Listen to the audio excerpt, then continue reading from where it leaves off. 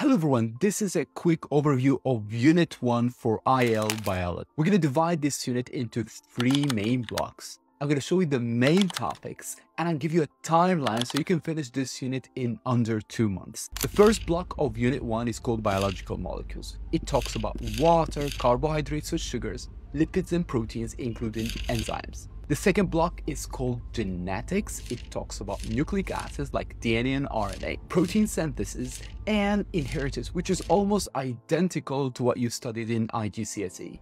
The third and last block talks about circulation, including the structure of the heart, blood, mainly about hemoglobin and blood clotting. And the last part is called cardiovascular disease, which is heart disease and its treatment. Note that each one of those topics I've mentioned takes about one lesson. So if you could manage to do two lessons per week, you would be able to finish the entire unit in under two months.